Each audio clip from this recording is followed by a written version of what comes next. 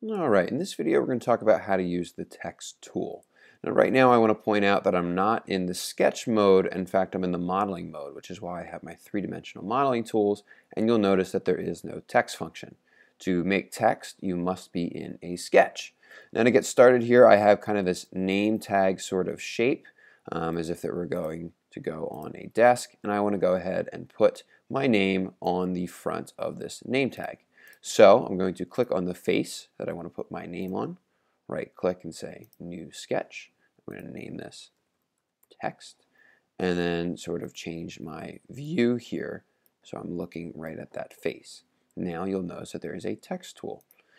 I can go ahead and click on the text tool and drag sort of a text box where I want my text to go and type in whatever it is that you're looking to type.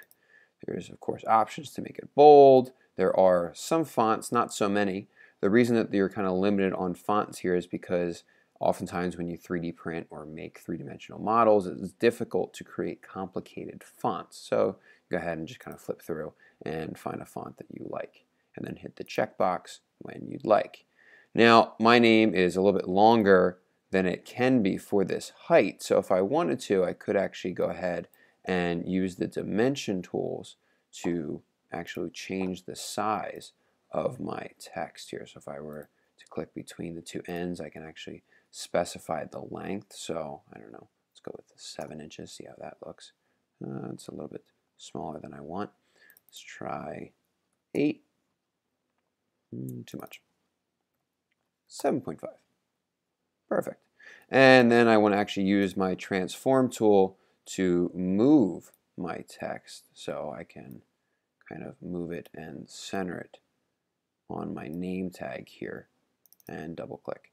So I now have my text on my name tag.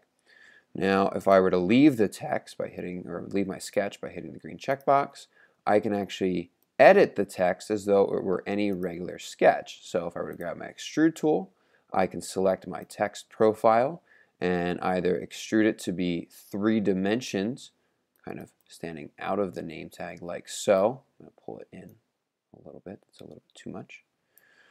Or I could actually do a remove function and cut into the name tag um, and kind of embed the text into the name tag. So if I hit the checkbox, you'll see I just went ahead and I cut my name into this desk name tag.